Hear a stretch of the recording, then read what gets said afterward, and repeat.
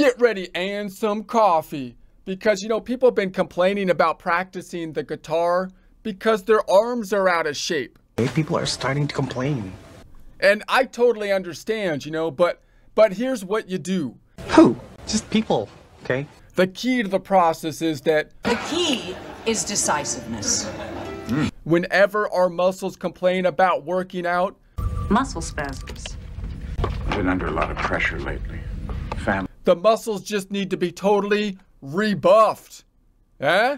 The muscles need to be rebuffed? I was refused, rejected, rebuffed, repudiated. Yeah, yeah, you know, my, my arms would be like, I'm too tired. I'm pretty tired. And I'd be like, whatever, arms. I'm not hearing it. I ain't trying to hear that. Drank a protein shake and totally rebuffed them. That's what I'm talking about.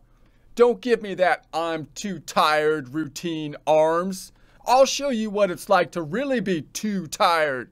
Show you. I'll show you all! And maybe wait until you're out the room to see that next time. And then, and then, and then I took it too far, Okay, too far, too far, too punishing me my arm for complaining by running it over with a wheelbarrow for some reason. far. Come back. Come back. Yeah, I mean, I I can't even remember what my arm was saying that time, but it pissed me off. You know, it pissed me off. I know that. Uh, anyways, at which point my arm taught me what pain really feels like. So, so there there is a limit to the to the arm rebuffing strategy. But whatever. Let's let's just rock.